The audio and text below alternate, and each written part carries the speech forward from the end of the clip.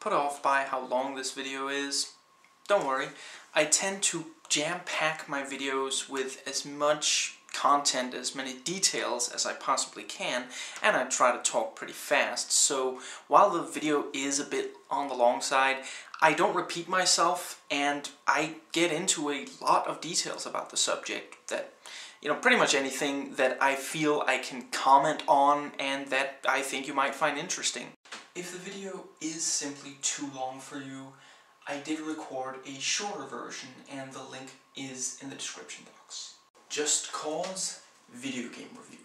And yes, that is just cause, as in a cause that is worthy, that is fair. Not as in a tween girl going, just cause, you know. Now, things are pretty bad. The government is out of control. It's just the police are everywhere and are mistreating the people and military just out of control. But enough about the America, the, the US, botched that completely.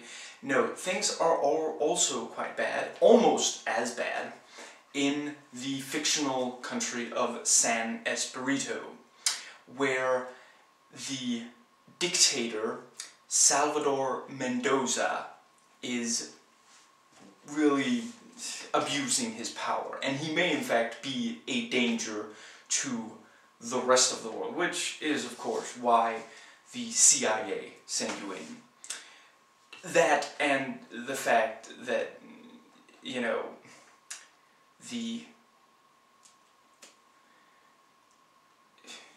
the Simpsons character, you know, the Arnold ripoff, yeah, he was unavailable.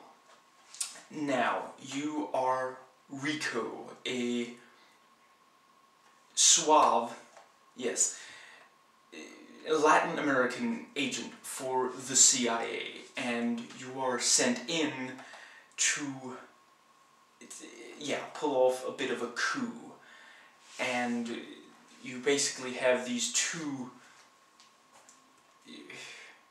you, you have a weapons expert who helps you out who gives you new toys and you have a I guess operation you know you, you uh, uh, an immediate boss, basically. And basically every time you go to them for a briefing, they're always living it up, like, you know, working on their tan at the beach, or, you know, planning a barbecue.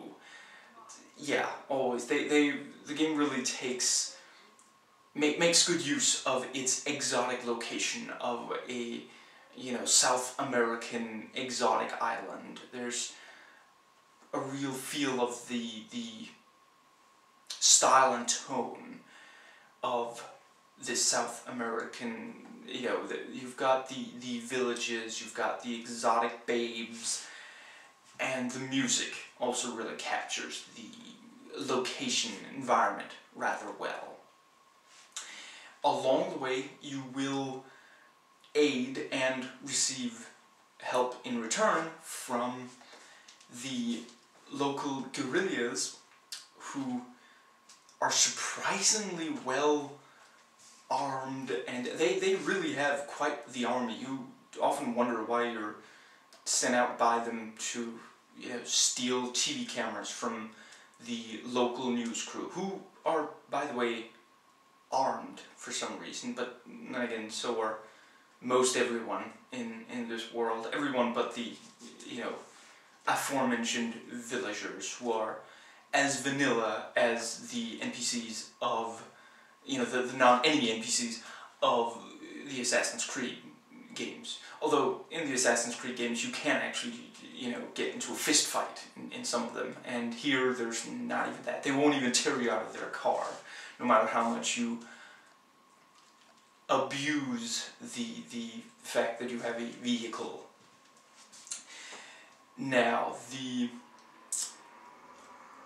Yes, the, the guerrillas and the one of the two cartels, drug cartels, the Rioja, who the, the guerrillas you help directly against the government, the Rioja cartel you help against the Men Montano cartel, who are on the on Mendoza's payroll. That's that's something I quite like about this game. The the the drug dealers aren't bad people.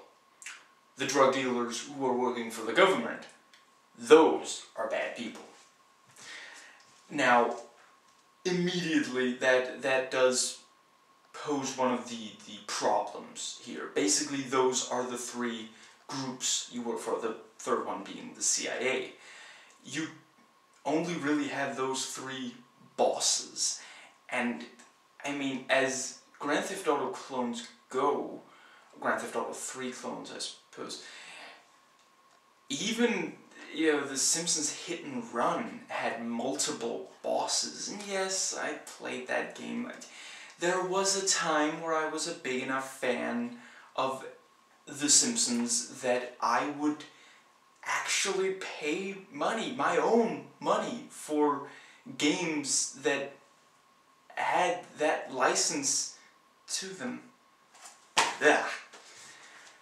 But yes, the where you usually enjoy in, particularly in Grand Theft Auto games, the ability to go, you know, to different people and get assignments for different people. Do you want to work for the crooked cop, the, you know, Yakuza head, or, you know, a third, or, or the, you know, the, the, the businessman who has questionable methods sometimes, you know, what do you, what would you like at this point? And if you try a mission for one of them and you fail, you can retry it immediately, or you can say, well, I don't really feel like, you know, escorting an armored truck right now. Let's see what the others have to offer as far as, you know, missions go.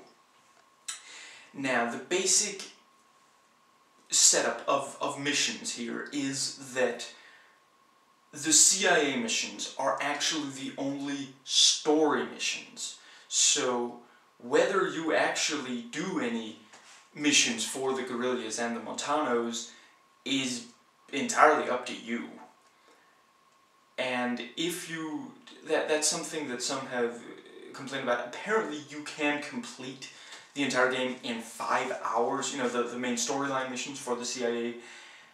That's pretty underwhelming but yeah, it's it's quite well worth completing missions for the, the other two, which in my case at least brought it to about 33 hours of total game time, maxing out those two groups. Now, that is about what it took me to complete Grand Theft Auto 3 as well, and while in both of them, with that there is still some stuff left undone, some, some collectibles left uncollected. In Grand Theft Auto 3, you have a lot you can do. In Grand Theft Auto in general, there's always stuff to do. You can't run out of...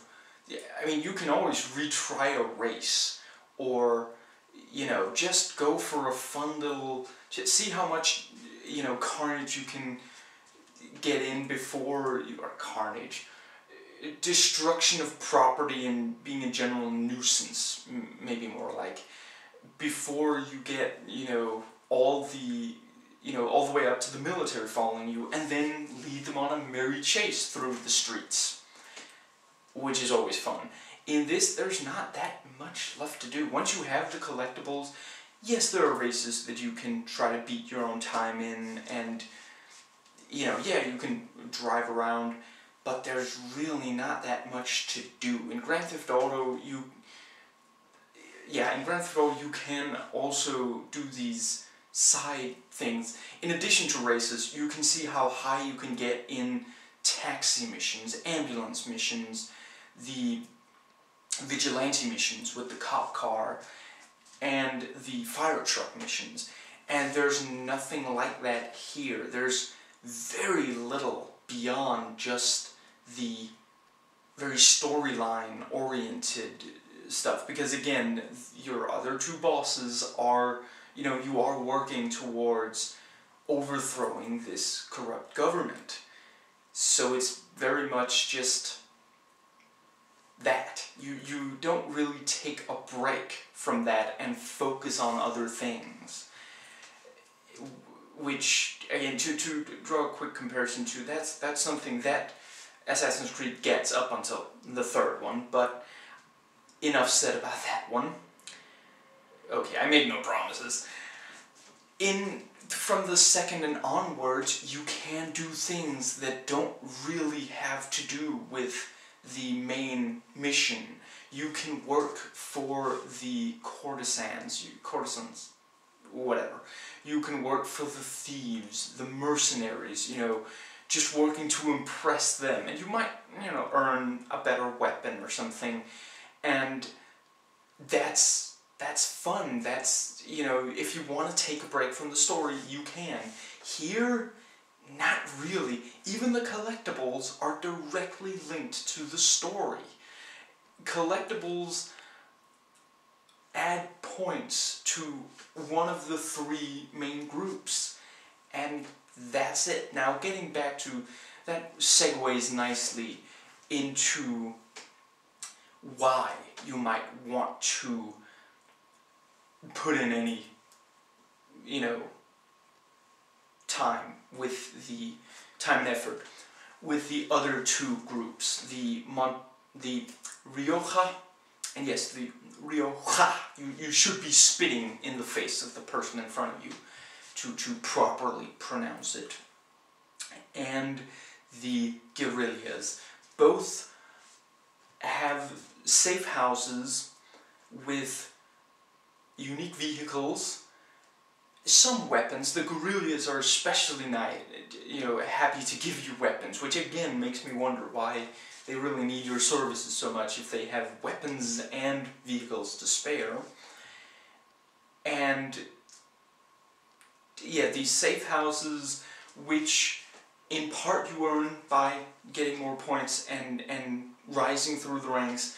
And for the guerrillas, it's also about liberating, you know, more more places. I don't think the Mont the Rioja are actually really require you to liberate things in order for you to get more safe houses.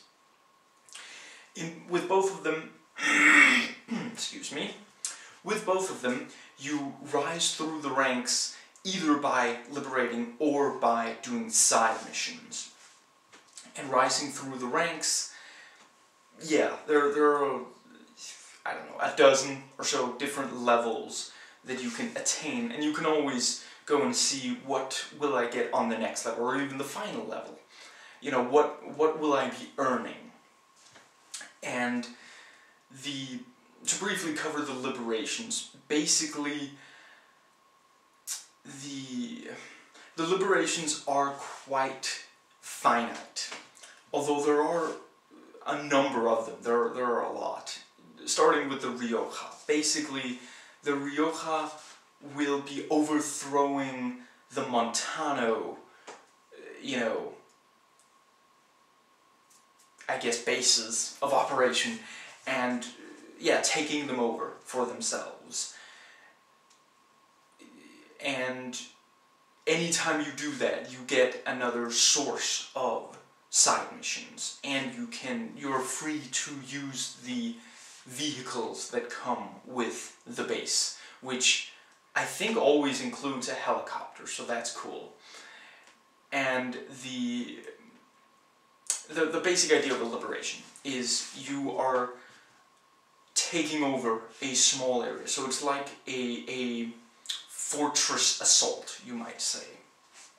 You have to destroy three barriers, three blockades, which, you know, basically means blowing them up. So whether you want to use grenades, you know, a bazooka, a grenade launcher, or your C4, that's up to you.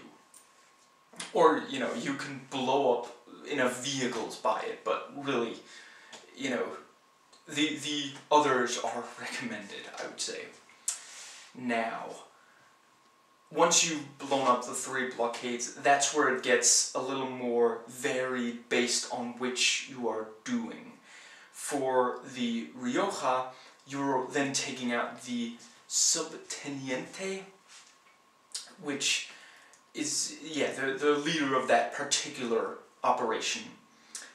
And then you will have liberated. For the guerrillas, you aren't, you, you, you're liberating various things. You, you liberate a, a settlement, a town, I guess, or a city, maybe, a military base, or an airport.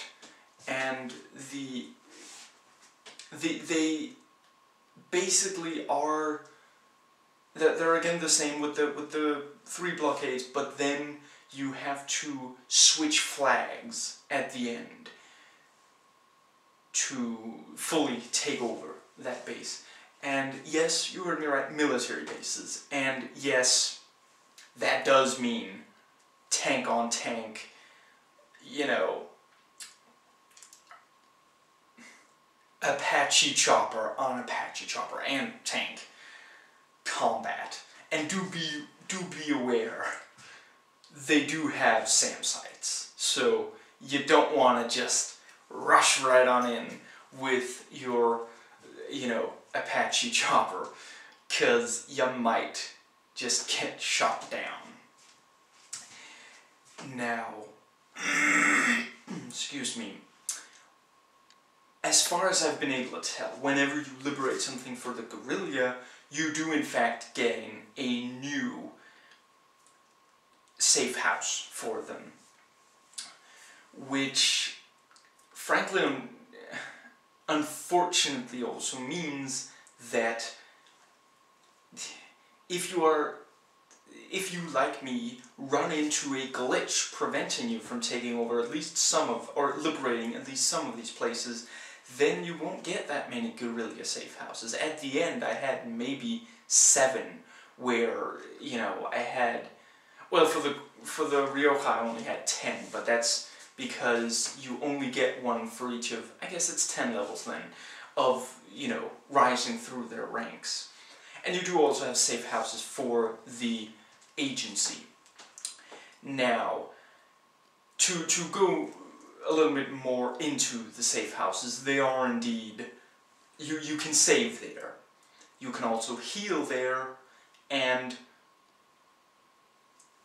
when even when there isn't, you know, weaponry for you to pick up, you can at least refill your ammunition. Now, uh, and, and I believe every single safe house has a vehicle. It just won't always be a really interesting one, you know. But I believe the Rioja always have, you know, every single Rioja safe house has a different vehicle from, you know, well there might be one or two doubles, but if you go to a Rioja safe house, it's gonna have a new vehicle, which also makes earning them all the more fun. The guerrilla, I think, are more kind of kind of follow a set pattern in that the vehicle will always be the highest vehicle you've unlocked by rising through their ranks. Now, the and and Actually, I suppose that's enough on safe houses for now. To get back to the side missions, these are infinite, but there is a limited number of different ones. And they're a bit... Well, well, briefly, just covering how they work. You have a ton of different sources of them. Every single... Every single place you've liberated whether it's for the guerrillas or the Rioja, there's a guy who, I'm, I'm going to refer to them as hosts.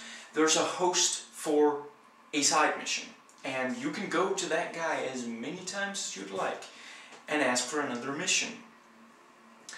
You can only be doing one side mission at a time, and you can't save while a side mission is active, which, again, I'm just going to sprinkle in the bugs here and there.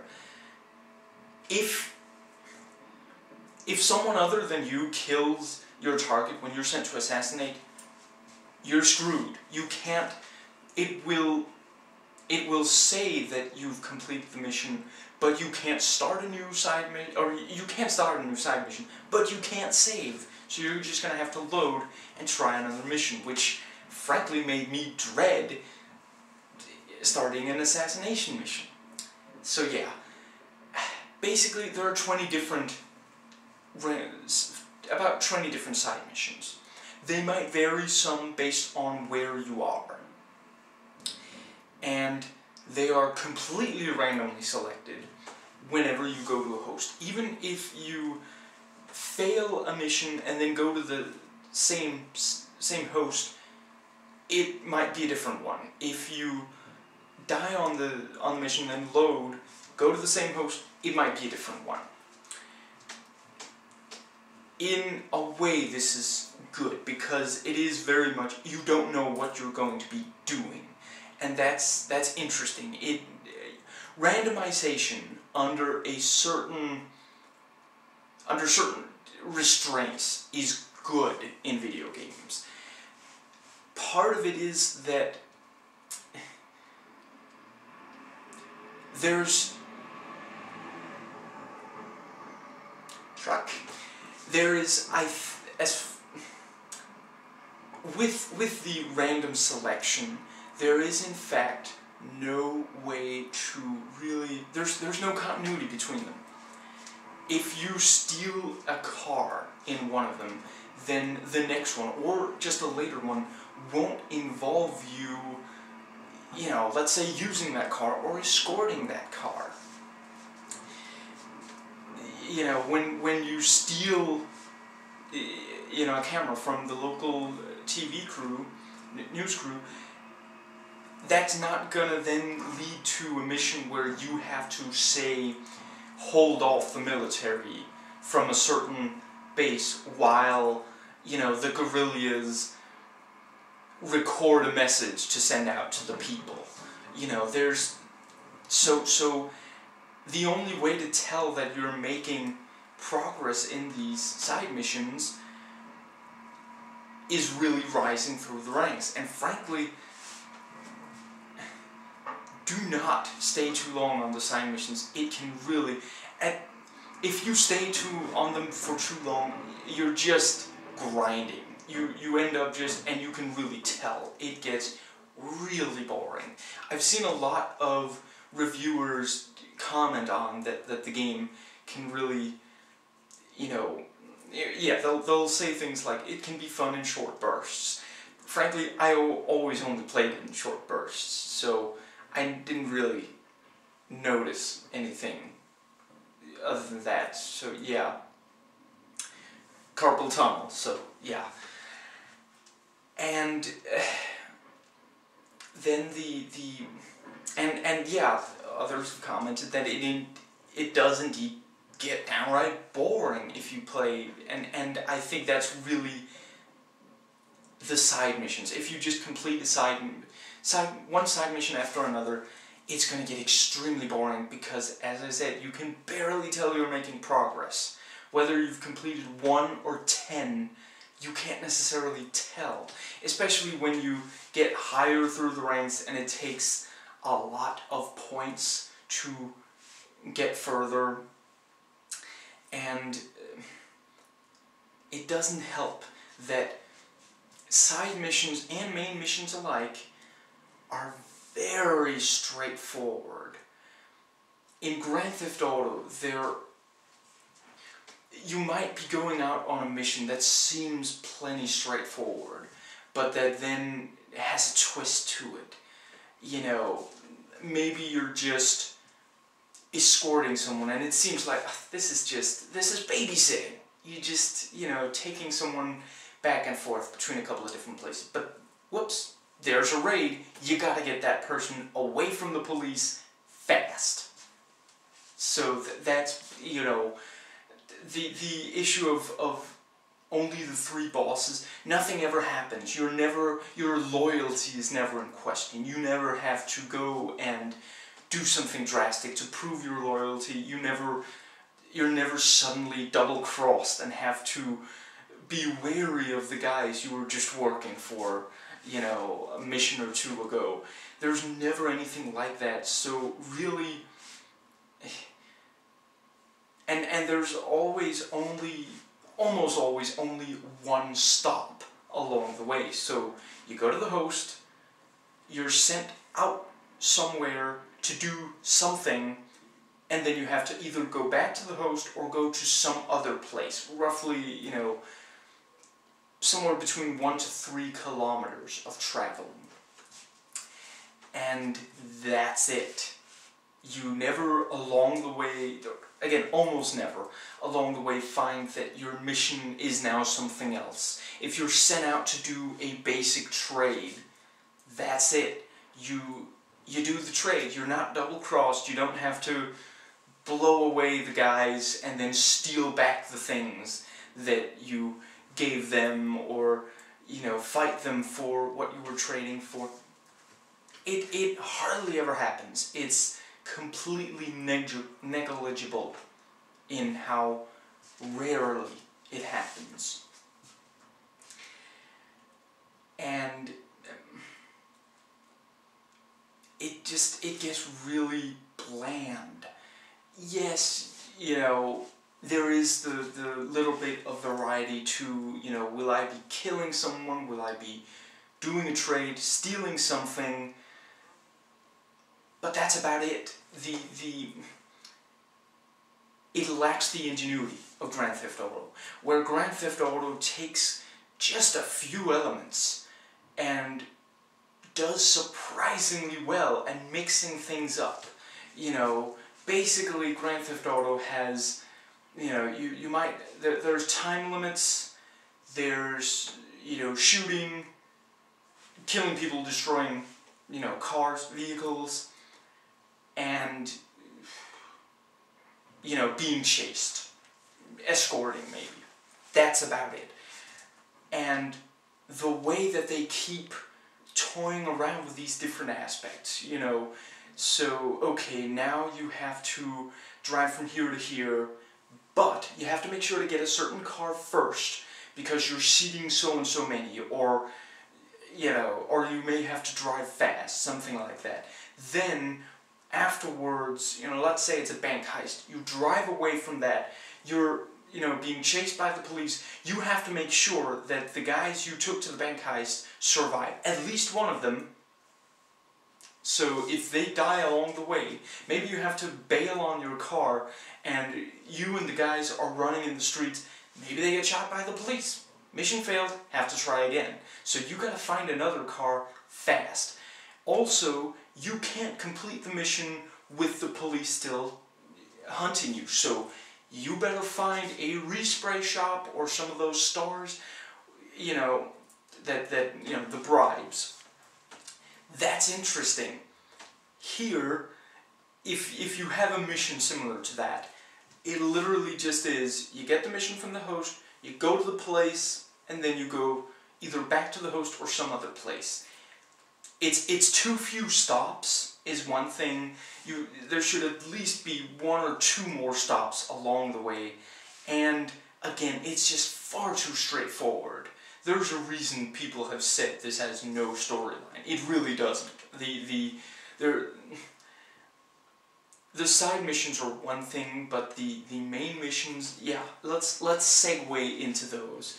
To to start with, side missions and main missions alike the, the, you know, one stop along the way and then back. Pretty much always. Your mission objectives won't really change once you've, you'll almost always be completing the mission you were sent out to do. It's not like, yeah, you're, you're pretty much always sent out to do a job and then you do the job. And in video games that can get kind of boring and predictable. So it's it's always good when it turns out, uh oh, this recon mission, you have a one of your main targets, get into a good position, kill him, then come back. You know, something like that. Something that a, a wild card. Excuse me. So yeah, that's the, the, the basic setup. Now, the main missions do there's a little bit more continuity between them. Like, one of the first missions is freeing the leader of the guerrillas, thus, they trust you now. Another is doing a mission for the Rioja, so again, they trust you now. But other than that, excuse me, there are entirely excuse me, too many missions where you're killing VIPs on Mendoza's side. And it doesn't, you can't tell you're making any progress. You, and, and then, you know, you might be destroying some of his hardware, stealing something, or, you know, doing recon. But a lot of it just doesn't really have, they'll, they'll throw in something really obvious and just, you know, they might take a step back. I'm, I'm trying not to spoil anything here. They might take a step back just to give you something, you know, you have to do something that you basically already did, but it was undone in one way or another, just to make sure you have something to do, you know, just to kind of make the game longer, where again, in Grand Theft Auto, you, you're working your way to the top. Here, you kind of a couple of main missions in, you're working for the guerrillas, you're working for the agency, and you're working for the Riojas. Nothing else is going to change. Rising through the ranks, it gets you safe houses, it gets you, you know, vehicles and weaponry. That's it. You don't get tougher missions. You don't get... I will say, the liberations do get tougher as you go, which is quite nice. The, the, yeah, the, the tank on tank stuff, that doesn't happen right away. Or actually, I didn't try to take on a military base right away, so I don't know if that's like really early on, but some of the liberations are tougher than others, so that's good. But that's it. There's, you know, the, the main missions do get tougher as you go, definitely. But yeah, you can't really tell that you're making progress. Like, in early Grand Theft Auto 3, I could really tell, you know, they kept sending me after, I think the first enemy was the Triad, and I could tell I'm doing more and more damage to these guys. You know, like early on, I might be just, you know, destroying a minor operation of theirs. And then later, I might be killing a VIP. I might be, you know, there might be a big gang war going. In fact, part of the way you can tell is that in later missions still involving the Triad, they might send a lot of guys your way, and you're like, whoa, I really ticked these guys off. They are not pulling any punches anymore. So, yeah, it, it feels like the world is alive and you are in it. You are doing things and those things have consequences. And mission-wise, that just isn't the case here to, to a pretty wide extent. Now, something quite nice about this that I see in too few open world games is that a good two-thirds of the main missions are actually quite open. You choose, you know, do you want to just drive right in and go, you know, head on? Do you want to parachute in from a bit further away? You can somewhat sneak. There, there are always, almost, yeah, two-thirds of, of the time, there's more than one way, and you can really, like, again, let's say you're going into a military base. You know that they have tanks, they have Apache helicopters. Do you just want to try to sneak in and try to take cover behind buildings, or do you want to go in like the freaking Terminator, like Commando, like Rambo? and just decimate everything and really, you know, because the thing is, the game kind of meets you where you are on that. You see, if you if there's an Apache on you and you're on foot, it's going to use the machine guns.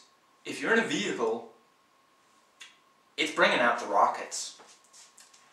And no vehicle lasts all that long against rockets in this game.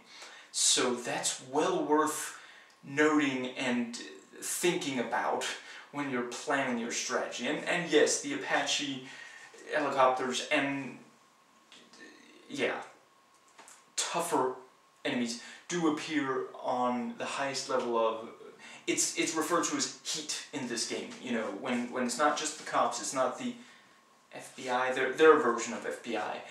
It's the military. Yeah, you will be you know up against an Apache, and if you are in a vehicle, it's gonna deploy rockets against you. So just just think about that. Do you want to risk going on foot when anyone, any enemy could just pull up in a car, car doors open, there's several guys with assault rifles, and you do still have the Apache, and it is still a machine gun, or do you want to hope that you can put enough distance between yourself and the Apache that it's not gonna blow you apart?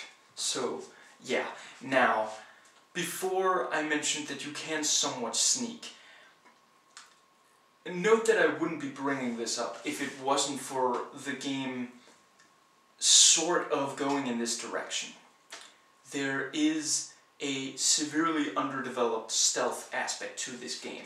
I feel like they should probably have just... The game is clearly rushed to, to yeah, get that one out of the way. I feel like they should have at some point along the way just admitted, you know what, we're not going to be able to do this stealth thing justice, let's abandon it. Because it's really obvious that they what they wanted to do.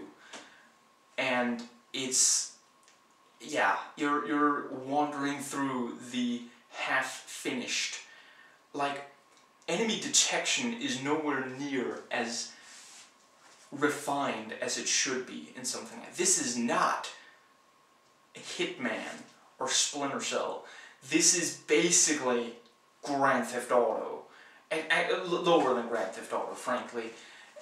And yeah, so so basically, if you aren't blowing things up and going like head on, then in some missions at least, the enemy might not have noticed you yet. The you know some missions they know you're coming, so yeah. And you there there is a handgun and a submachine gun which are silenced. But the thing is that you can be firing a gun, silenced or not, at an enemy if if they're like at a mounted gun and they're not looking at you, they might not notice you. They might not react at least. You can shoot directly at them. You you can be shooting them, you can kill them without them ever disengaging the mounted gun, turning towards you and shooting, or calling, sounding the alarm or anything. So, yeah, the, the silenced guns are right out of the... yeah, they're, they're kind of pointless at that point. And then... And it doesn't really help that the silence... A handgun and a submachine gun in this game does not provide much stopping power. Again, this is not Hitman or Splinter Cell. You can't just really make sure you get that perfect headshot and it kills him. No, it usually takes more than one shot even to the head. Even with rather powerful weapons. So it just it isn't that possible to to really sneak. But yeah, you can still, you know, you can choose whether to just go straight for, forward or somewhat sneaking in and at least getting close to your objective before you open fire and start, you know, making any kind. The the alarms in the game, if they had just had the the thing of you know, Medal of Honor, where you just you shoot the alarm, and done, no more alarm, that would greatly add to the stealth aspect.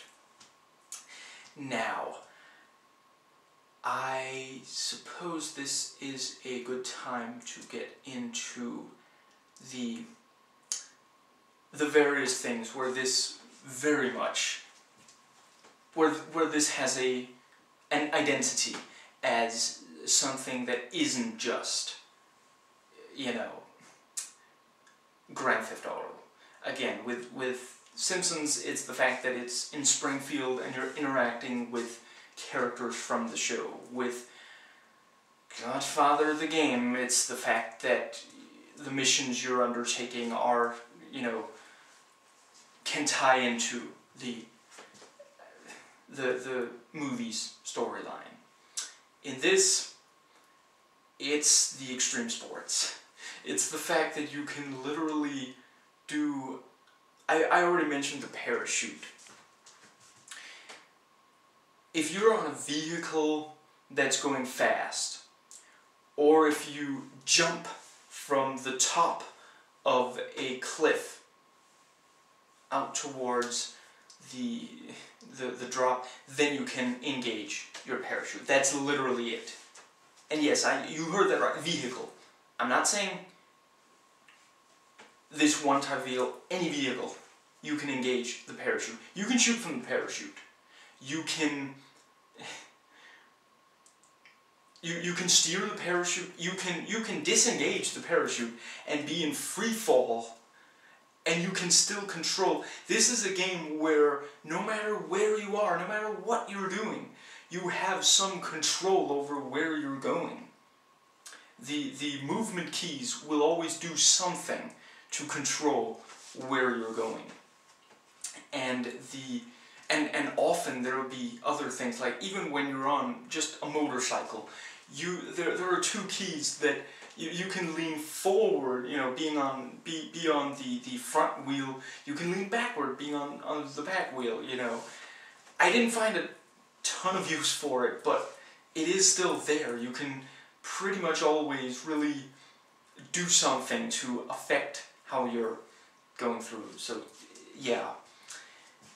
And the parachuting, you can be parachuting from tremendously high up and which again is where it's really nice that you can also free fall because if you don't want to take you know several minutes to go from from really high up to further down then just free fall a bit of the way re-engage your parachute you can do that as many times switch back and forth between the two as many times as you like and kind of I, I don't think there's really a limit to how far you know, how far off the ground you have to be to re-engage the parachute. If you land in the water, you can just swim. I, I'm not even sure there's much of a height requirement. And, and it doesn't even matter if you're using the parachute or not. It'll just disappear when you reach the water, and then you can swim. You can dive. You can be swimming around under the sea there's not a tremendous lot to explore down there, I will say, but it is still cool, and it, it looks pretty good when you're under the water. You know, they have the, the, you know, it's not that unique anymore, or maybe, maybe it wasn't even in 2006, but they did at least apply it. You have the, the filters on, on the, the screen, you know, so you can tell you're underwater. And yeah, the, there's a, there's a grappling gun which can be used to basically, at, at the very least, grapple to any vehicle. If if it's manned, then then you can grapple to it. You know, if, if there's someone driving it or using it, even if they're you know parked at a red light or stum- or something, as long as there's a driver in the car or whatever, yeah, you can you can grapple. From the grapple, you can give yourself more or less what's called uh, rope, I guess, And if you if you go all the way in on the rope, either just you know pulling all the way in on the rope, or you know when you get a certain you can, you can be prompted to you can jump to the vehicle. And yes, again, I'm not just talking cars. I'm talking you can be you want a helicopter? You want you want that Apache. Is that what you want? You want that Apache that's shooting it. Okay, use the grappling gun. This can be a little more difficult. Helicopters are some of the more difficult to, to get, even if you do properly grapple. Do note that it takes like a full second or two for the, the rope to fully shoot out. So if it moves in that time, you gotta try again. But you do have unlimited tries with the grappling gun. And yeah, it's it's just a ton of fun to actually steal the Apache chopper or the tank that a second ago was making your life just impossible, you know, and just steal it the moment you, you go into a vehicle, you literally see Rico just grabbing the guy, tossing him out. It doesn't matter who it is, by the way. The guerrillas, the guerrilla don't care if you steal one of their vehicles, or if you steal a car from a, a villager. So there's still that aspect from, you know, the the the Grand Theft Auto thing. So yeah, that's a ton of fun. You you can grapple from parachuting. So if you just get yourself into the air somehow, again, speed or jumping off of a hill, you can grapple to a helicopter, a boat, not 100% sure you can with a plane. Actually, now that I think about it, yeah, you, you can with a plane as well. Planes are a little, little rarer than, you know, helicopters and the like. With that, I suppose I have covered pretty much all the vehicles, but just, just to make it easier to really, really completely grasp, yes, there are cars, motorcycles, boats, helicopters, and planes in this. And, and when I say boats, I don't only mean boats. There's, there's at least one submarine in this game. So yeah, that's, that's good fun. And all of them can be used by you. All of them might appear in a mission and be used against you Every vehicle that I've just mentioned has at least one form which is armed. So there's that. To, to compare it very directly to Grand Theft Auto, note I have not played Beyond Vice City yet. I will be getting to, at the very least, San Andreas and Grand Theft Auto 4 and its expansion packs. Helicopters and boats are a lot more common here and certainly more useful than they are in Grand Theft Auto 3, or boats are. There's no helicopters in Grand Theft Auto 3, only the, the plane. They're, they're much more common and more useful. I don't remember for sure, it's been a while since I played Vice City. I could imagine that boats are also quite useful there. D don't get me wrong, overall, Grand Theft Auto is by far better than this. Now, the the commonality of helicopters and boats in this game might make you think, oh, so, you know, they get kind of boring. No, they do not. Because, again, you are, you know, okay, if you go into a helicopter, if you go into an Apache, you might also be fighting Apaches. Like, you might be and, and multiple. You might be fighting several Apaches at once. You know, if, if you're lucky, maybe you're only fighting helicopters that only have a machine gun. So, you know, you're less threatened by them. But, yeah. Do note, a helicopter can be shot down with small arms fire, if there's enough of it. So, yeah. Now, the... So, uh, yeah, the, the... Basically, land vehicles, let's go with that, helicopters, planes, and boats can all be useful in just a very straightforward use. The the island comprises, uh, or yeah, there there's just over a kilometer of square miles. A square square. I think you get what I mean. If not, I can't help you there. I'm not a math person. Anyway,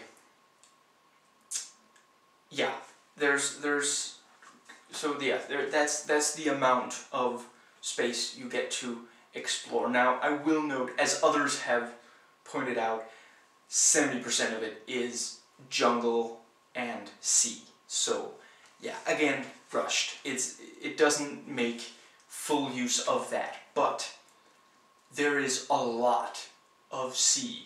So if you want to get from point A to point B, even if it's only like a couple hundred meters, you might be, it might be better for you to sail that distance. It might take you a while if you gotta find a bridge. So yeah, sailing is, and again, even if you, even if the, the only boat you can see is like a hundred meters away or more, you can grapple to it, or you know, may possibly even get to it just from parachuting.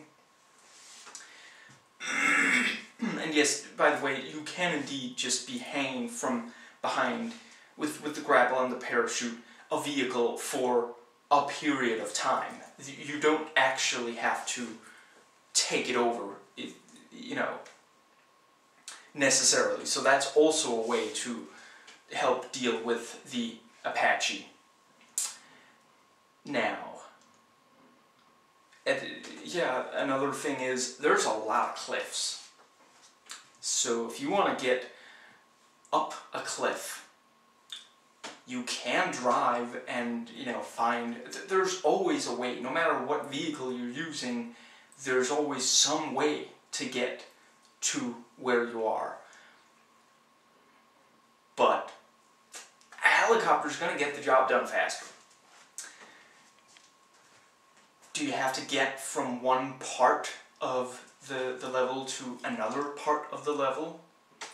And you know it's a, it's a far distance. Well nothing's going to get you well yeah it's it can it if you want to go there by your own power the fastest way you're going to get there is a plane. So yeah. And I've already mentioned but it really it bears repeating control is always smooth responsive you don't spend very much time in a vehicle before you master its controls. And before anyone says, well, you know, in Grand Theft Auto it's supposed to be difficult to fly at least the plane. I can appreciate that flying a plane is difficult, but driving a car also takes more than it does in Grand Theft Auto. The, the, the gears and the like, yeah. And in this game, every vehicle is as easy to maneuver and control as a car is in this or in Grand Theft Auto. And I frankly do think that that makes more sense than a full-on. It, it maybe also, I suppose you could make the argument that, you know, in Grand Theft Auto you are you know, a street thug, you start as a street thug, you're not a pilot. Whereas Rico has been trained in all these different vehicles. But, but yeah, it's, it's tremendously easy. I mean, and without it being like too easy either. I, you know, I made sure to try to take off and land every plane I came across pretty much. And in most cases, I could do it pretty much right off the bat. There was one where it took me two tries, and that's literally it. The, the controls are that intuitive, and you're always told what the, you know, yeah, what, what controls you got. The moment you get into a new vehicle, it tells you, or get an, a new weapon which has very specific attributes that no prior weapon of yours has. For example, the sniper, which has zoom, although I don't know why, because it can barely zoom in or out. Again, they should have just said, no zoom. No zoom for you! Because that would have been a lot less awkward than you pressing the button and it barely zooming in or out. So, yes, there's the... So, so you're told, you know, what will this button do? And if you don't mess around with them, the buttons will not change that much. Like, left shift and left control tend to be accelerate and decelerate, respectively, on pretty much any, you know, that you, so, so, or, or that basic thing. So, let's say you're in, you know, in, in the plane, that's accelerate and decelerate, or increase, and yeah. If you're on the motorcycle, you know, the it'll be front wheel or back wheel that you'll be, you know, doing the thing on. Let's see, what else do we have? On, on the helicopter, it's up or down.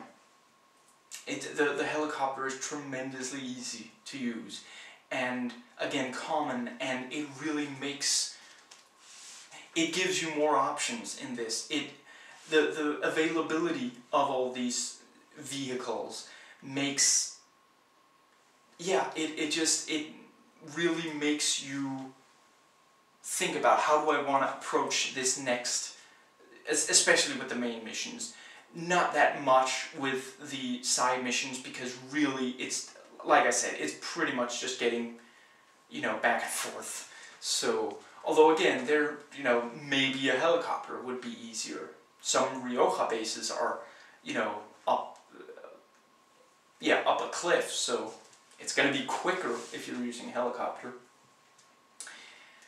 Now, something else that's great, and that I really, this is, this is one of the hair-tearing aspects of Grand Theft Auto, and again, have not played Beyond Vice City, maybe they have addressed it by now. One of the fairly few genuinely notable and interesting things about Total Overdose, you can bail out of a vehicle at a moment's notice. Regardless of the vehicle, if you're if you're bailing out of an aerial vehicle, you probably want to engage the parachute, but you can do it. So if you sense I'm going to get blown out of the sky, well, bail out.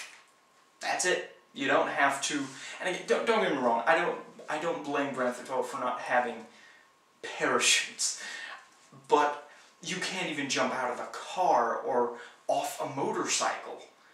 Again, as far as Vice City at least.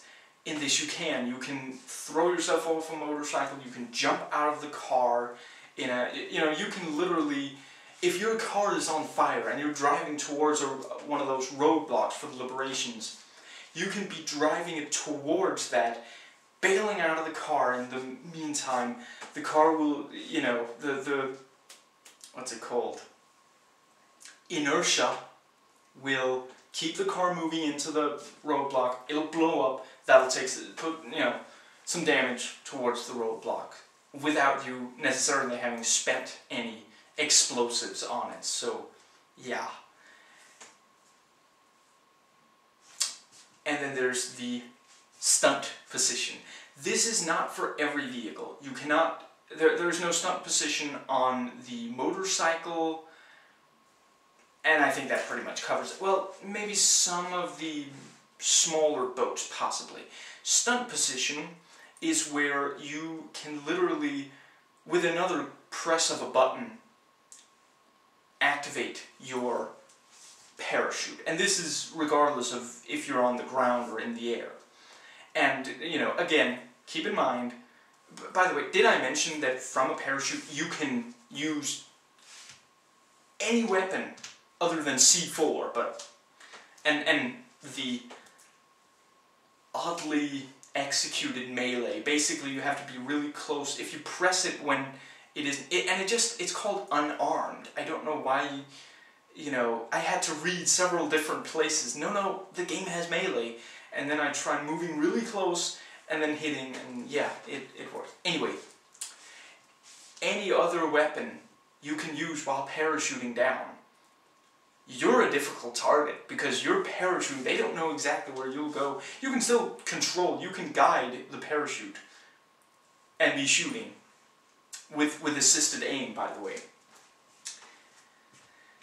Again, a, a good tactical opportunity. Do you want to run in? Do you want to drive in? Do you want to fly in? Do you want to parachute in? So, yeah. Do note, and this is really, I don't know why they didn't do that this game does not have any drive-by feature. You can't like shoot to the sides like you can in Grand Theft Auto 3 and onwards. I don't know why, but anyway. Yeah, so so there's the yeah, stunt mode. You can use the parachute and that's going to be quicker than, you know, you, you still can do something. If you if you bail out of a car and just jump out to the side, no, he does a roll. It's going to take a full second or two before you can actually shoot again or anything. By the way, you can shoot while jumping as well. From the parachute, you can shoot instantly, so again, several different opportunities. You can surprise your enemies quite nicely with that. And another thing you can do from the stunt mode is basically if you if you grapple to a vehicle you'll also be in the stunt mode. So you can just keep hanging on to the vehicle, you know, until you feel like taking it over or what you want to do.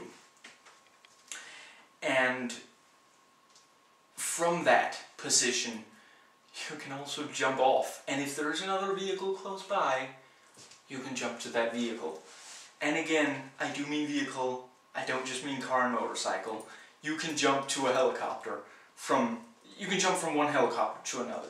You can, you know, if, if you feel like I'm going to get blown out of the sky by this guy, I want his chopper. Get to the stunt position, fly you know, fly real close, get to the stunt position, hop onto his, take it over. You just took care of two problems at once. So there's that. I've talked some about the shooting already. To get more into that, basically at, at its core, the shooting here is definitely better than Grand Theft Autos. Again, you know, up to and including Vice City anyway. It's, in this it feels more like a typical third-person shooter.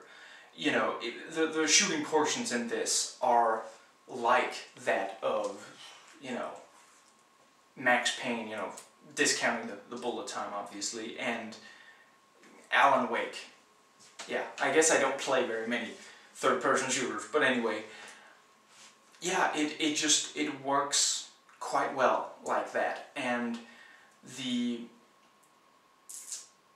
you know, one, one thing I especially noted in Grand Theft Auto is that you can just barely kind of take cover, like, you might be using a sniper rifle to, to put some distance between them and you, but if you can see them and shoot them, you they, they can see and shoot you. In this, you can actually be taking partial cover behind a tree or shoot and then instantly go behind cover. Things like that. So there's much more tact, you know, yeah. You, you can employ more tactics in this when, when shooting. And a lot of the time you will also have help when shooting. Like the liberations, you're not going at it alone. You will have a, you know, not quite army, but, you know, a dozen or so guys from whoever you're liberating it for with you. And you do gotta be careful not to just, you know, ignore them because if if too many of them die, you might just be completely alone and you know, you are taking over a base of operations. They do they prepare for this kind of thing. The roadblocks are not the only thing. There is there, there's gonna be dozens of enemies. So yeah, but yeah, you know you can choose whether you want to just kind of lead the you know the attack going directly, or if you kind of want to sneak up, flank them while they're dealing with your guys. You know, drive flying. Yeah, it's it's quite nicely, yeah. Now the to get yeah the the aspect with you having some support there is unfortunately also one of the things where there's a negative to it. Basically, if you're on a side mission, pretty much always there's going to be a battle between the the group you're on a side mission for and either the police or the Montanos. And you can count, you can basically ignore it or join it but the problem is it's it's kind of it's kind of always there. You know again not so much variety there and there's really pretty much just the one intensity to it. Like the guerrillas will send out their attack choppers for just nothing. And yeah so the intensity of that can get both kind of tedious and just kind of you guys I'm just I'm retrieving some cigars for your great guerrilla leader leader.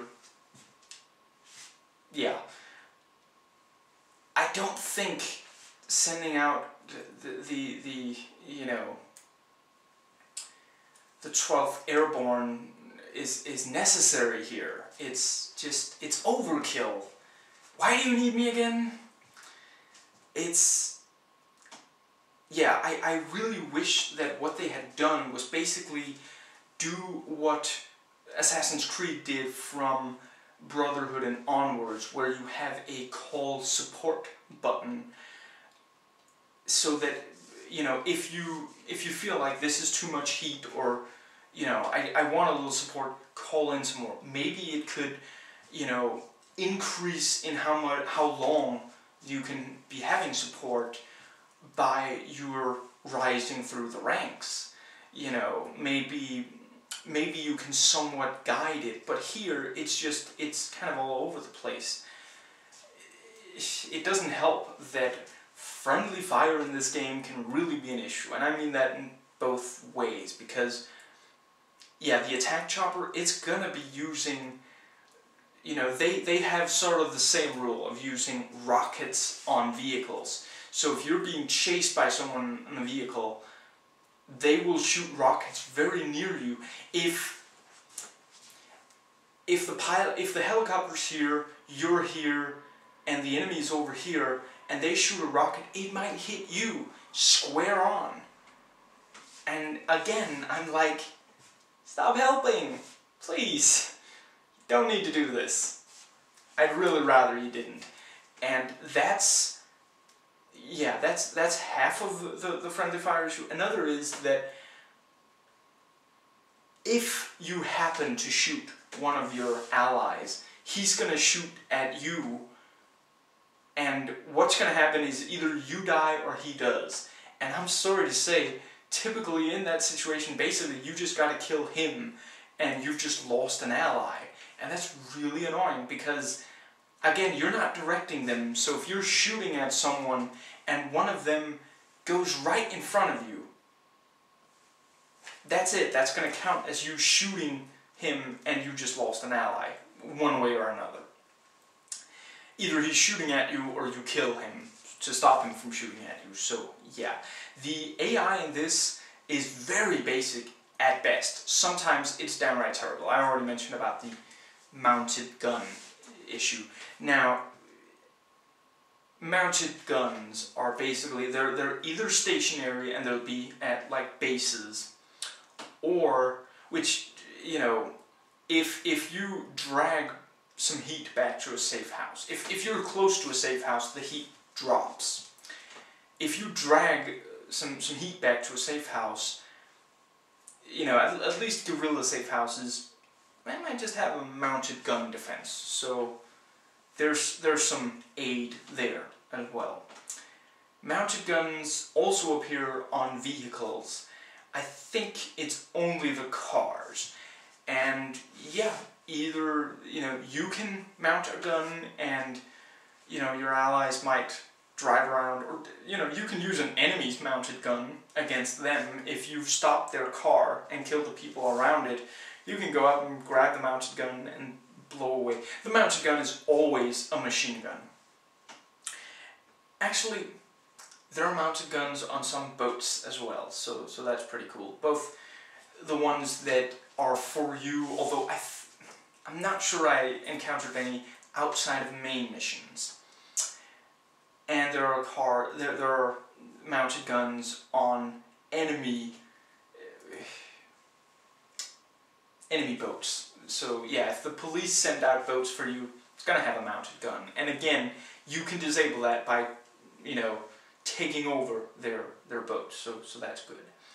One thing I should really make clear about this is again compared to Grand Theft Auto, this has much better aiming for when you're using anything other than you know on foot weapon. You know, in in that regard, you know, Grand Theft Auto is fine, except for when you go into the first person mode and then, you know, strafe and you know, movement keys become look up and such. That's, yeah.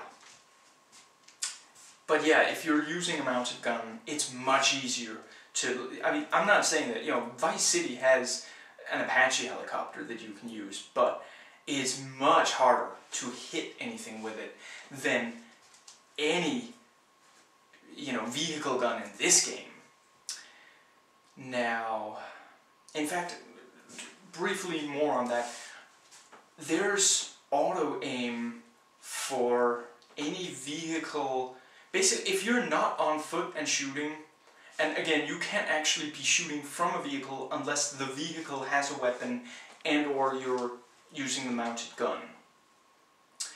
You know, if you're on a motorcycle, you can't just pull out a weapon and be shooting, sadly. Again, you know, something where Vice City clearly does better.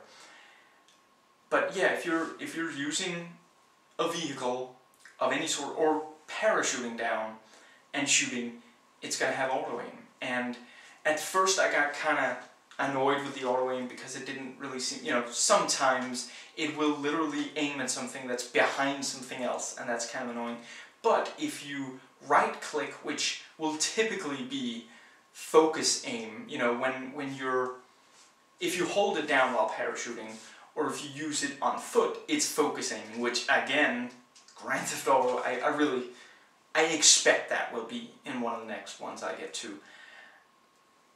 It, it toggles, it, it'll, you know, switch to another target in the basic area. And by the way, whenever you have a weapon, you know, whether you're on foot or anything else, you can always be shooting in a solid 90 degree angle in front of you.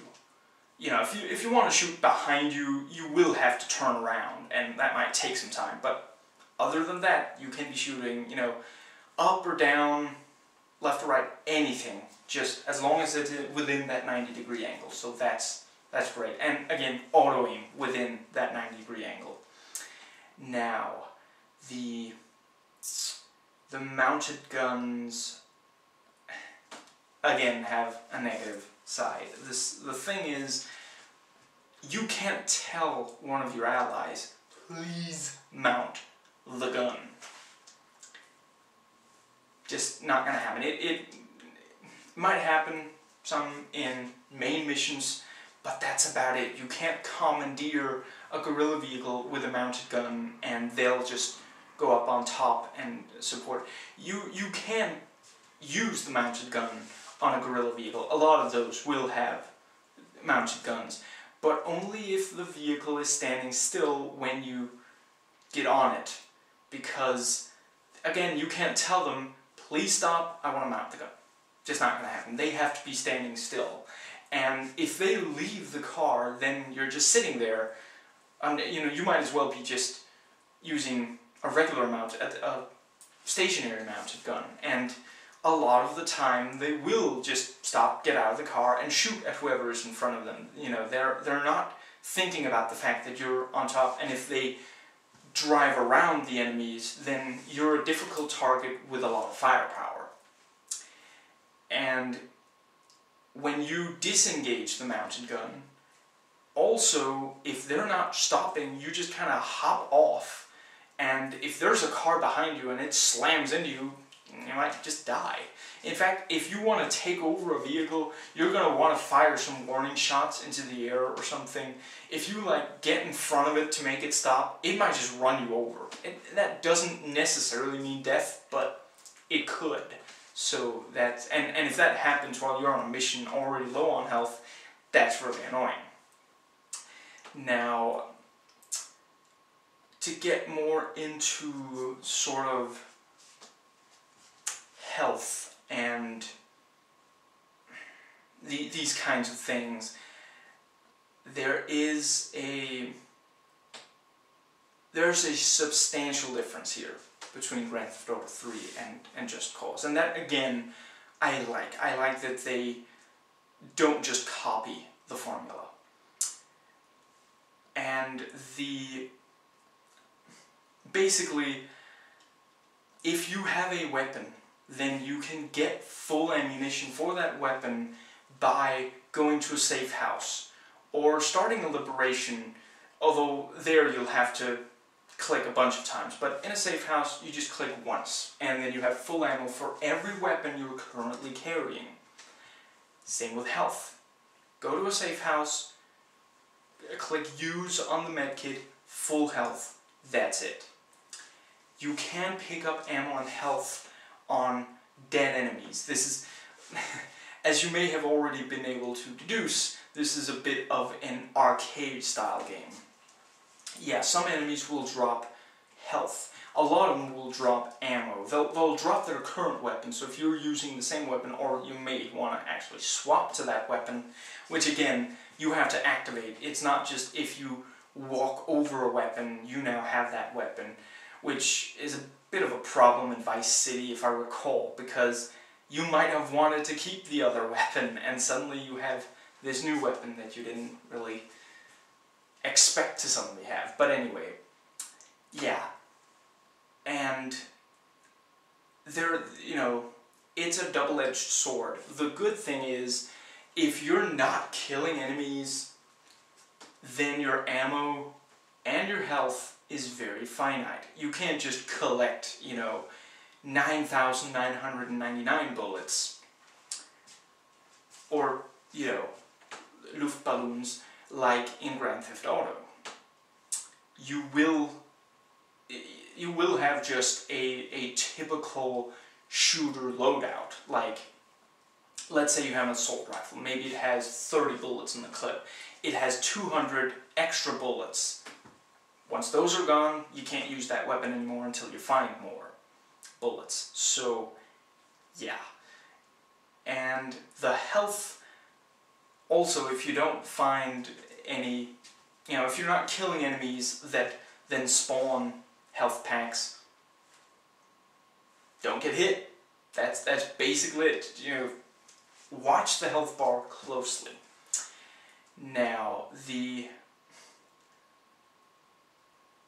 the bit of issue here is that that also kind of means that again it doesn't lead to a lot of variety because you can't really be for, for one thing as long as you do have several weapons you can just switch between the several weapons. You don't have to be you know if you die if you die in Grand Theft Auto and you don't have you know yeah you might have to just go and buy some weapons again which means going physically to a gun store. In this, you just have to get to a guerrilla safe, guerrilla safe house, which, sure, you don't, you know, they're not there from the very start, but, you know, you'll have at least one within a, you know, a few missions of the game, and that one will have every weapon you've earned with the guerrillas so far. And once you pick it up, you then, you know, have full ammo for it immediately when you pick up at, at a safe house. And once you've used the bullets, you can just go back to a safe house. So once you're not, you know, being chased around a mission, you go back to the safe house, full ammo. So you're not necessarily watching the ammo that closely and you're not worrying about, you know, where will I get more ammo for this gun. You're not running around collecting ammo before a mission, which I always found was a quite realistic part of Grand Theft Auto. It's very, you know, I'm, I'm working for organized crime. I know I gotta go out and I might have to kill some people, I might have to fend off some people, Sometimes it means killing a, you know, sometimes it means dying. Sometimes it means killing a whole lot of people. I told you I can't go, I can only go for so long without a Sin City reference. So yeah, it's like, well, I guess th there's a gun shop over here. I could buy some more ammo. You know, what have you? You'll be you'll be gathering ammo, and in this, not so much. So again, and and there is no, there, there's only the health. There is no getting a Kevlar vest, you know, and then, you know, you have a little, you have a bit extra, but maybe you can't get the Kevlar vest out. No, there's just no Kevlar. There's only the health meter. And the, I also already mentioned that heat goes down when you, when you're very near a safe house. That's also it. You can't bribe the police away from it. And again, I, I appreciate that they're trying something different, but when, you know, there, there are no respray shops, there's no bribing, so you only have the one option if you're trying to get, and I can appreciate that this also means that when on a big mission, you can't do anything about the heat. So if there's an Apache chopper on you, there's an Apache chopper on you.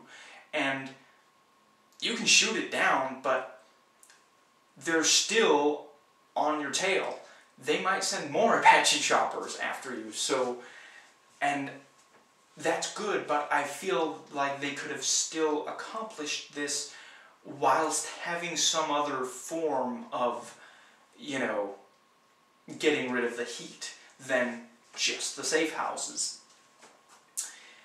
Now, I suppose that more or less covers that. The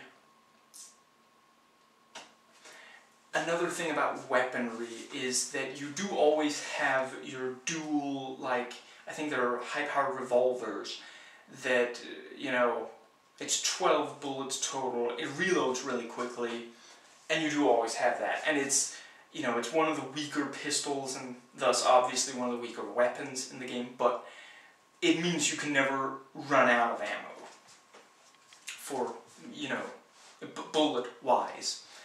Now, as I've already somewhat alluded to, there are no, there, there is no money in this game. You don't, you can't uh, go, you know, like, like I mentioned, respray shops, they also repair your vehicle. There's none of that here.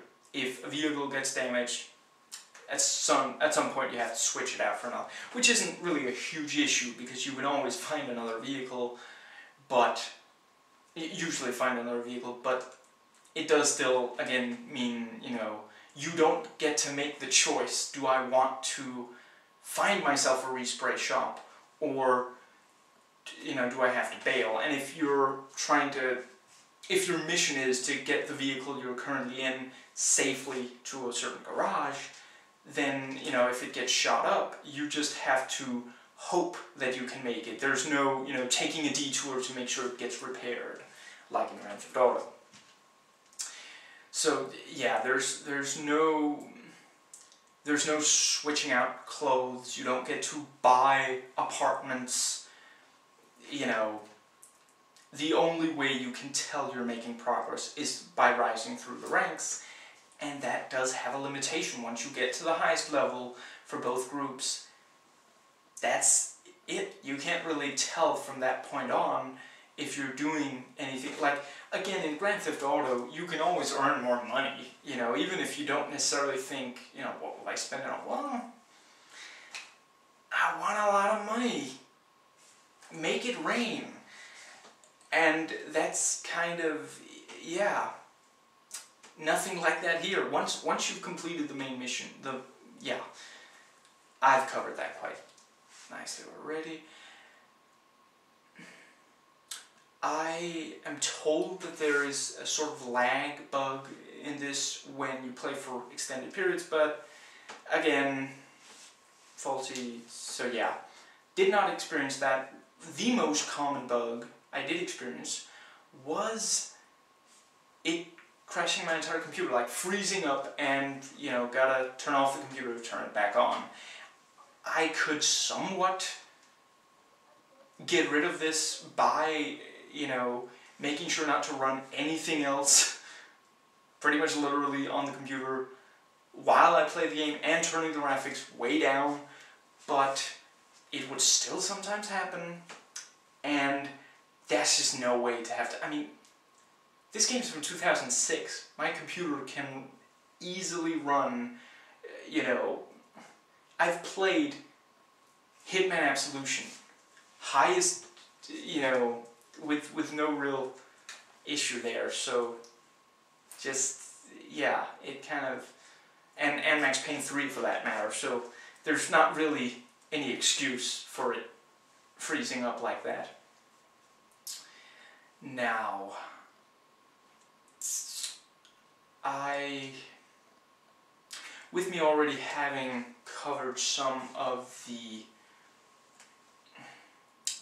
some of the aspects of the game where, you know, yeah, like ammo limitations and such, while I don't know if this is the case, it does feel very much like they kept adding things to even out the difficulty rather than dealing with what they already had. They, they wrote themselves into a corner and rather than just getting a good old eraser and working on it again, they just, you know, start climbing up the wall and start writing on the ceiling. Yes, so basically, where let's let's start with the you know the unlimited ammo issue of Grand Theft Auto. What they added here was to say, well, we'll limit carry capacity. You can also you can't carry very many weapons. Other than your unlimited pistols, you can carry one pistol, one submachine gun, your two types of C4, and then there's the the spot for a weapon which, and I do kind of like that they did this, it can be occupied by an assault rifle, a yeah, one of these, one of the, the ones I mentioned, an assault rifle, a grenade launcher, a rocket launcher, a sniper, or a shotgun. And I should briefly mention the the one-shot style, the, the, the law style bazooka can also be carried on the submachine gun slot instead of submachine gun. And I think that slot will also allow a double barrel, a sawed-off shotgun. But yeah, so, you know, you really got to think about what you choose for the that last slot. Do you want, yeah, of, of all the all the different types. And yes, that does mean if you both carry an assault rifle and a submachine gun, you don't have any, you know, one shot bring down a helicopter weapons. So think about that. And at the same time, you can be running around with two of those, although note that they use the, the same ammo, both bazookas in the game. But, but yeah, so they did that, and then you know, what about if you run out of ammo at a really bad time? Again, you know, an assault rifle will have 30 bullet, might have a 30 bullet clip and then 200 extra bullets. So, and you have very limited carry capacity in general. What if you run out? We'll add pistols that never run out. Well, how do we make heat matter? On the highest level of heat, we have, you know, an attack helicopter dedicated to the player. And, and you know, a, a bunch of cops. Might that not get to be too much for the player to handle? Well, let's say we make sure that their group supports them. And here we are. That's now we have all of these different things and they do kind of, you know, there are some conflicts between them and really it would have been, you know, if, if they, if it, if it maybe wasn't quite as much of an arcade game, it could be more fun. And I'm not saying that as, you know, I, I have no problem with arcade games. I'm saying this is not the best arcade game out there. I love the House of the Dead uh, games, you know. Yes, I, I might criticize them some, but I, I, especially the first one, I freaking love the original The House of the Dead. And Overkill is pure awesomeness. If, if you have a Wii and you don't have that game and you at all enjoy rail shooters, you know, get the game, unless, unless you're like below 18, because there is some pretty adult material in that game, and by pretty I do mean extremely. Anyway, yeah, that's that's one example. While I would never claim it's flawless, the 2004 Punisher video game is a much more enjoyable arcade-style game. One of the things that that game does really right is to focus on points that you then have to earn more of the way Grand Theft Auto has money, whereas in this, whether you, you know, sometimes a liberation and a side mission might get you the same amount of points to rank up the group. Like, they don't even care if you complete 10 missions or you liberate 10 different places. It doesn't matter to them. Just, yeah, do whatever. Eh, you know, yeah, that just really makes you feel like, you know, what am I doing here? Now, I suppose that covers that aspect fairly nicely. With, I've, I've already mentioned how much you get to explore and that, you know, a lot of it is, is jungle. Part of it is the, you know, others have, have pointed out, have, have literally said, it feels like a deserted island, and I would have to agree. And I'd say it's it's too empty. There's too much of the island which is uninhabited. Like there are a number of villages and and towns and such, but then there's also a lot of places that just where it's only jungle and there's barely any like you know not even much animal life. Like they'll have a few birds, but that's basically it. And I do mean a few you know, it's there's too little traffic, and frankly, travel times are too can can really be excessive. Now I get why this is. This is because they want to give you the experience of sailing for just like a straight kilometer without really, you know, for example, you know, without really having to turn too much. And, and flying without, you know, without constantly having to turn. Like, that's basically it, even, even on the faster planes. But what would make more... And, and it's probably also in part because of the, the rush job that it's so uninhabited, let's say, but it, it does really, you can really tell, you know.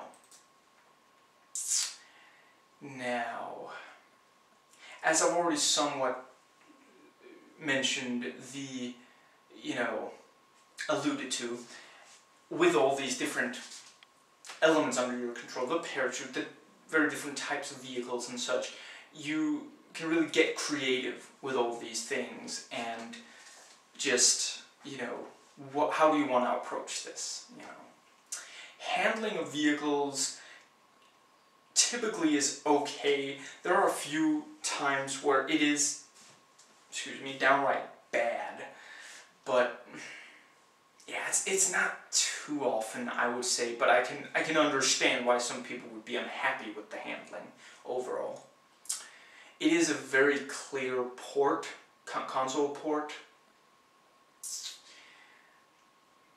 The I've already mentioned grenades.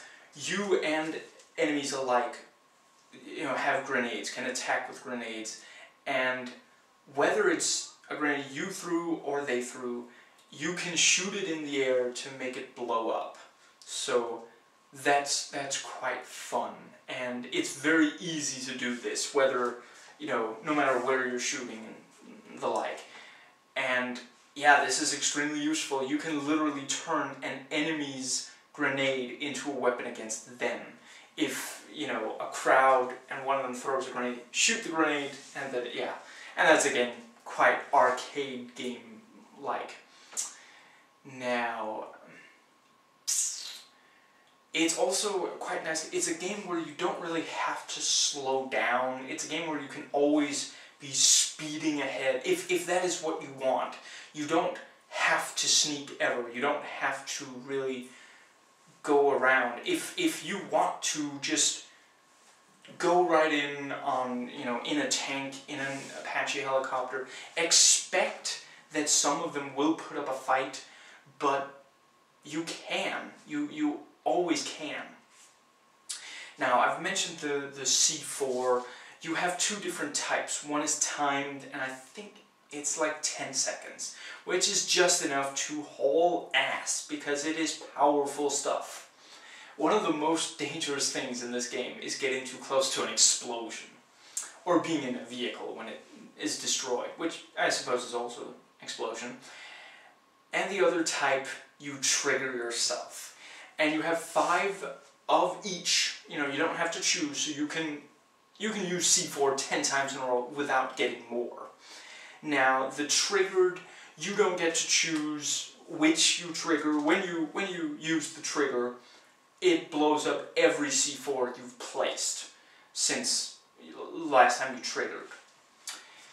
Now, the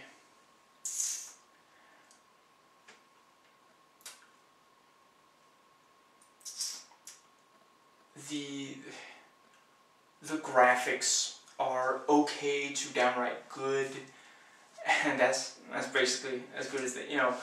I would say the best, the most impressive sight in the game is descending through the clouds, whether you know, be it in a helicopter or you know in free fall or using the parachute, just looking at the island, coming closer, seeing the clouds as you pass through them and come all the way down. Yeah, it's it is genuinely you know breathtaking and it's a sight that not that many games offer of, of this sort anyway the, the, the open world uh, third person action adventure and other than that it's yeah the the choice of an exotic island is maybe not the best because the the plant life just looks bad. There's a lot of the early 3D stuff, you know, we're talking Duke Nukem 3D where this is how a, a 3D object might look. You know, there, there are the two sides to it and you just kind of go around and you, you never seem to quite get the, the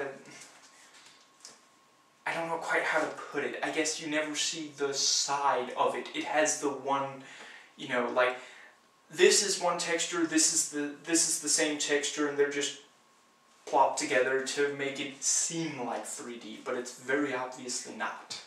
And then there's there's a little bit of an issue with you can't tell which trees you'll pass through and which ones you'll ram into. I'm not saying either or would be bad, you know, if you passed through all of them or if you slammed into all of them, but you can't tell, and that can be a problem. Now, there, there are no ragdoll physics in this game. Literally, if you shoot someone repeatedly so that they go into the air, it looks like pair of invisible fingers pick the guy up and just lifted, lifted him up a bit. There, yeah. I'm actually, I'm, I'm pretty sure it does say, you know, Havok engine in this, and I'm just like, well, I don't know, maybe in the vehicles. The vehicles have pretty decent physics, although some of them are extremely bouncy. And they're also, your average car in this game will take a lot more punishment than your average car in Grand Theft Auto. And again, I do favor Grand Theft Auto because that's a good way to make you careful when you drive and worry about traffic and worry about, you know, cops rear-ending you. That, uh, you know, that gives you an incentive to make sure the cops are behind you and not slamming into you far behind you, I should say, where in this you can kind of just keep going. Like you can, you'll drive off a cliff well, quite often in this game, no, not even needing to use the parachute. And while the driving off a cliff thing is just awesome, like a lot of other things in this game, the fact that you know the car landing, as long as it doesn't end up being on its roof, like if it lands on the side and then keeps turning over five or six times, and yes, this does happen, the car will still be fine. You don't have to exchange it for another. So, yeah. Now, there are some really cool things here. You can, you can very much tell that you're getting help from the CIA, and with it still being finite, you know, it's supposed to be a low-level eh, operation, it's not an invasion you know, you're technically not even there. That, that kind of thing. There, yeah. So basically this takes the form of vehicle drop, which will drop any of the four vehicles, provided you've earned them, that the agency offers. And yes, several of these are armed. So that's good. And it does cover the different, you know, there's at least one vehicle that'll allow you to fly, at least one that'll allow you to sail, and at least one that'll allow you to drive. Now, the... Yeah, and, and basically this does have the limitations that you can only call one at a time. If you're if your most recent agency vehicle, agency vehicle drop vehicle, is still in one piece, it, they're not going to drop another one before that one is destroyed. And if you are not in a clear enough spot, if you have to be like on high ground and such, then it also can't drop one. And another part where they give help is the extraction feature, which literally lets you go pretty much instantly. Like they'll, you know, in both cases a chopper will come in and with the, you know, the vehicle drop literally is they, they will drop a, a big, you know, wooden box which will fall apart on impact and in there is your vehicle. Good as new. In fact, new, I, I guess.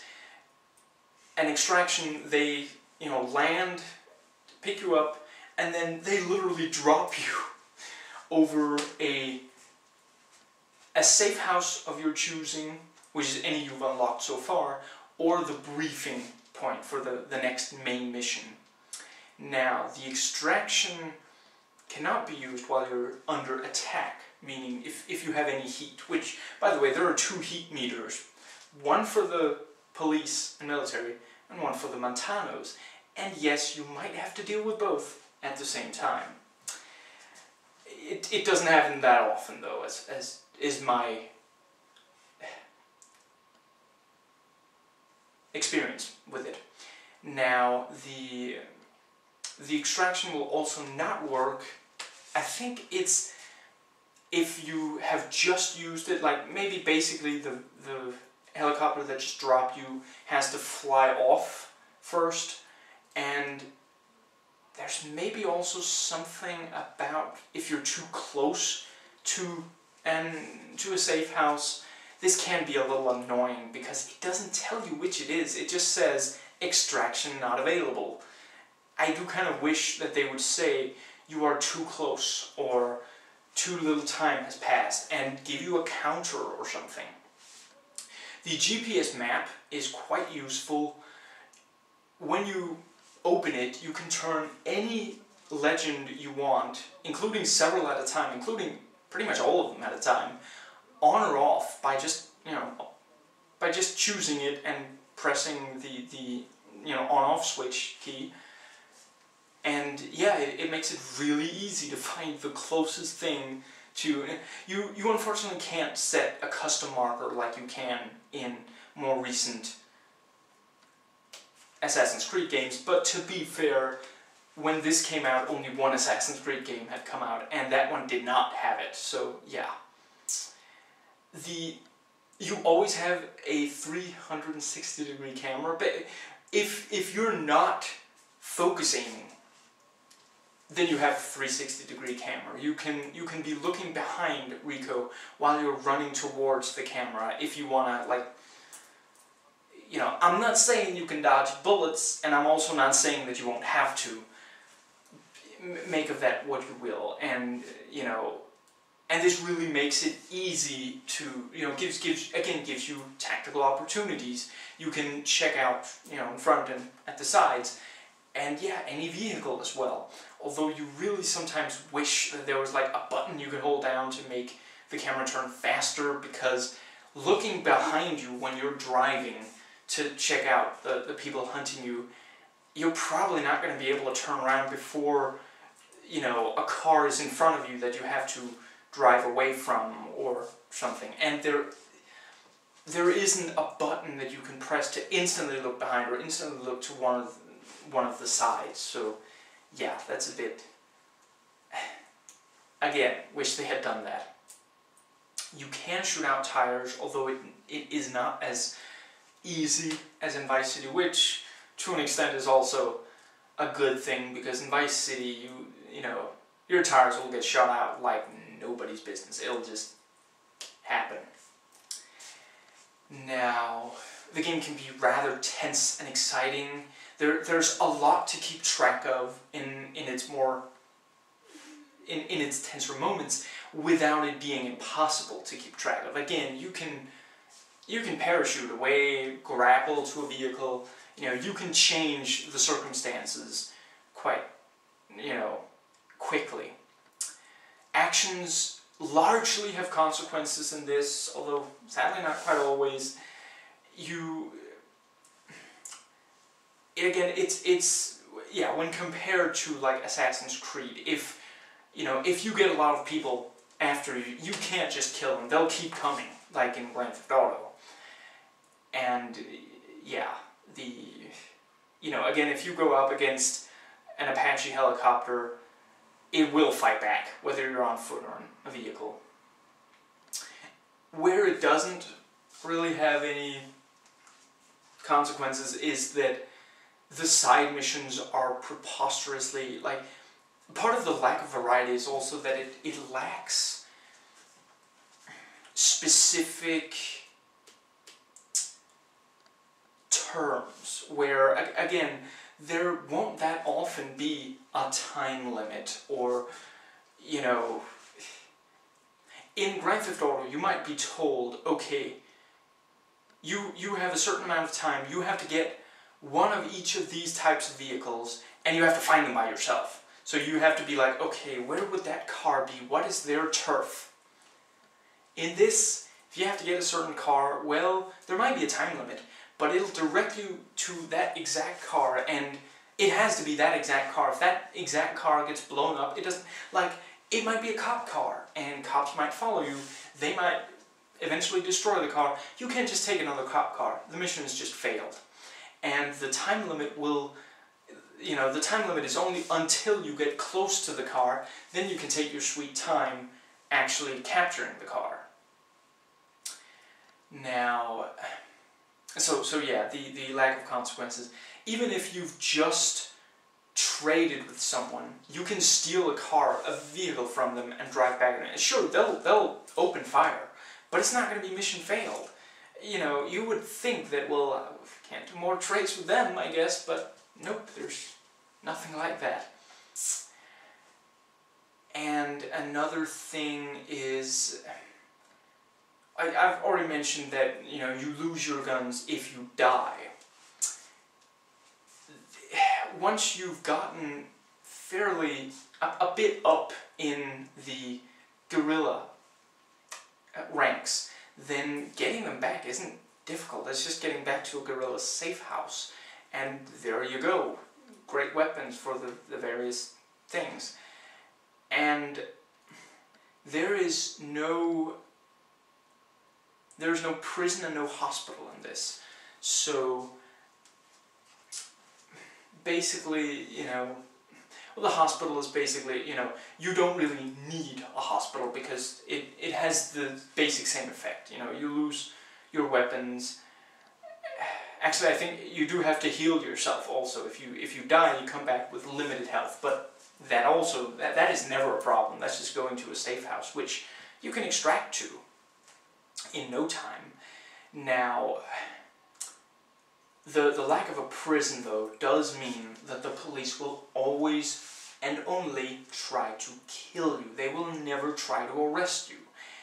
I can, I can see an argument for it story-wise, because you're not a citizen of there, but it really takes a lot away from it that when cops, like, if they force your car to a stop, if they block off your, your car, they can't just go in and, you know, point a gun at you and arrest you like they can in Grand Theft Auto games.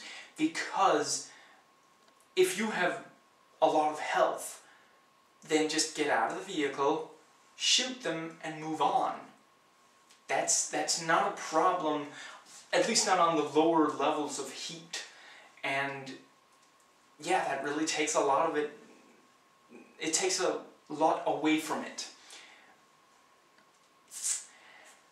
Now, I suppose that more or less covers it. There are a few different kind of weather patterns in this, and they do vary. You don't have a, you know, hour clock like in Grand Theft Auto, but it does appear to go on. You know, it might be a sunny day, maybe a rainstorm will break out, and it might be at nighttime. And again, when you're up above the clouds and you're like watching a sunrise or a sunset, that's just, that's gorgeous. Now, that might more or less cover it.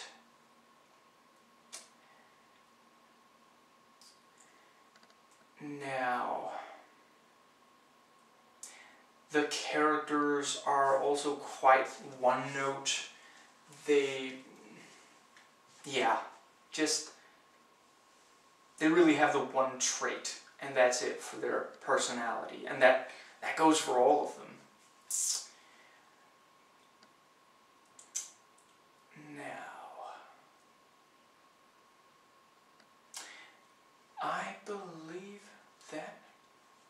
Covers it. Actually, briefly, the, the races are checkpoint races, so much like in Grand Theft Auto. Now, the big difference is there, there aren't really any other racers, which again takes a lot of the fun of that away, but they do vary in difficulty, although you you can't tell from you know when you when you go to the guy who lets you race he's not, you know, you can't tell what difficulty it is before you start.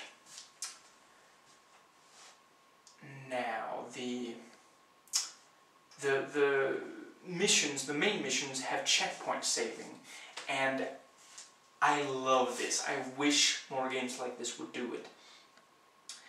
It, I suppose, yeah, Assassin's Creed also does it.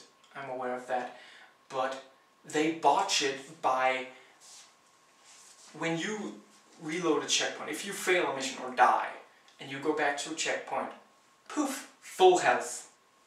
it, it, it takes all the fun away from it. You, you never really have to restart. No matter how poorly you did, as long as you got just a little bit further so it saved another checkpoint, there you go. Now it's just, here, they do it properly. If, the, whatever your stats are when you get to a checkpoint, those are your stats whenever you reload that checkpoint.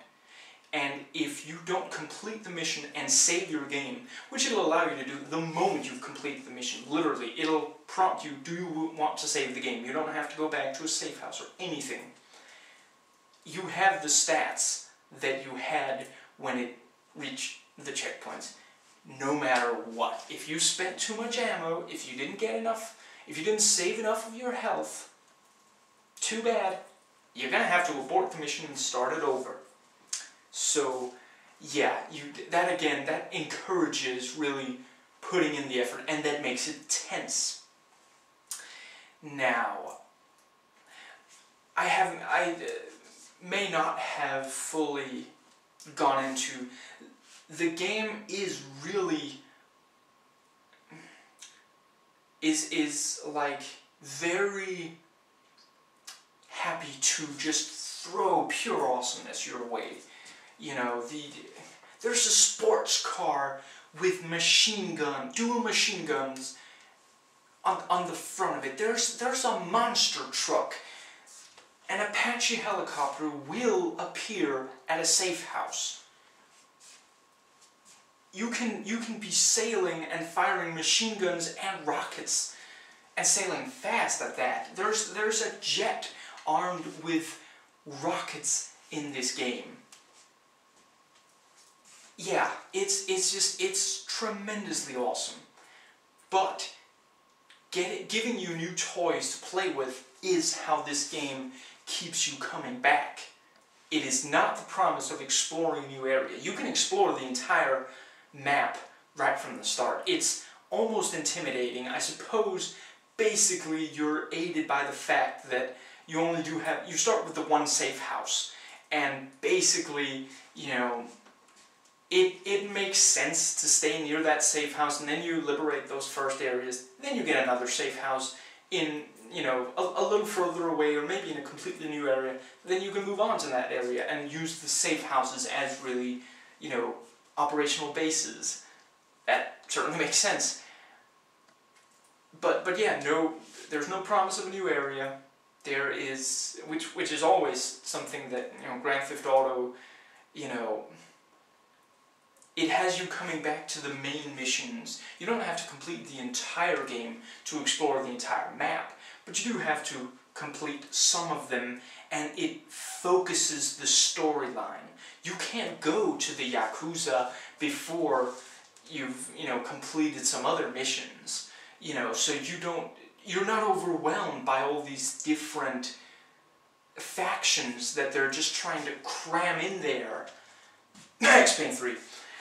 And it's just...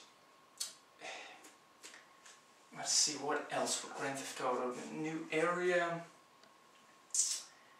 Compelling mission design, you know, story twists, just an exciting, engaging story.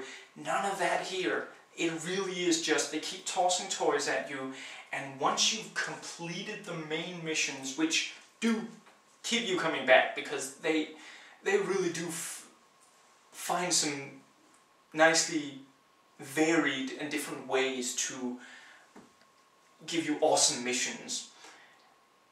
You know, the main missions and once you've reached the highest rank with the two groups, there's nothing else. There's, there's not really anything to explore because all the areas more or less look the same. Once you've seen one military base, you've seen them all. Once you've liberated one tough area, you've liberated them all. Well, not, not figuratively, but not literally, but figuratively. Yes, language is your friend.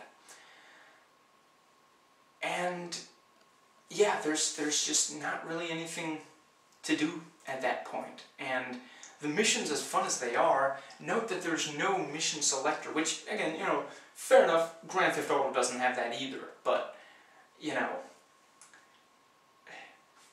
yeah, it's it's not here either. Now, some have complained about like the climax. I don't see why. It's pretty freaking awesome. The game starts awesome and ends awesome, and with some hiccups along the way, you know, story-wise, the the storyline, the those missions do continue to be awesome. You know, and yeah, the, the climax really, it's something you remember. And it's, it's a badass conclusion to the, the, the story. You feel like, you know, yeah, that was, that was worth playing through the, the missions for. Now, I just briefly more on the on the missions part of yeah part of the problem is that again they do have this basic you know go there do something and then come back you know infiltrate do something and exfiltrate and it doesn't do enough to change change these things when it does it, it works quite well like sometimes you do you have to go into an area and then you have to go around many different places in that area before you can move on. And the main missions do sometimes have more than one area you have to go to and where you have to do something. And certainly when you get to, you know, to, you know, bring forth your inner V as in V for Vendetta and blow crap up that doesn't really get to be boring in this game, so there's that. Please rate and comment, and hey, if you like this video, that subscribe button's just waiting for you to click it.